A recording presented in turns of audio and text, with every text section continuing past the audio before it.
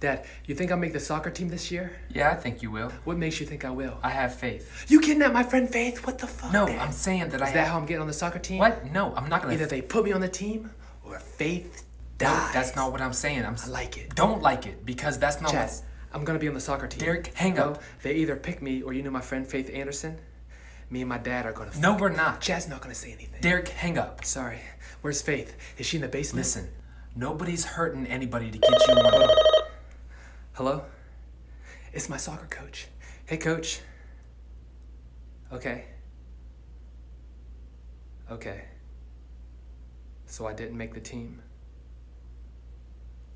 Okay.